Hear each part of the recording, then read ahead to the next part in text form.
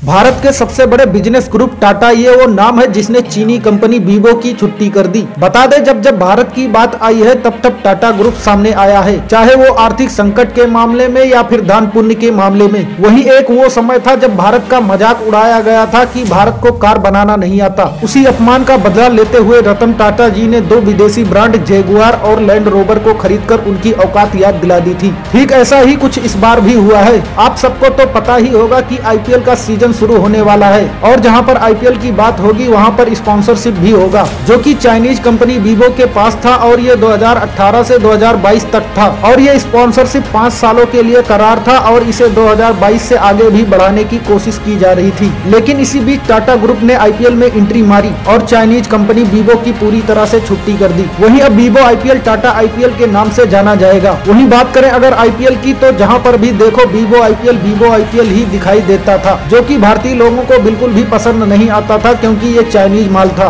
और शायद चाइना की नीच से आप भली बात वाकब होंगे। वही इस बार के होने वाले आईपीएल में चारों तरफ़ टाटा आईपीएल टाटा आईपीएल ही दिखेगा, जो कि हमारे देश के लिए गर्व की बात है। दोस्तों, अगर आप रतन टाटा जी के इस नेक काम से प्रसन्न है और रतन टाटा जी के फ़ैन है तो वीडियो को लाइक करके चैनल को भी सब्सक्राइब कर दें।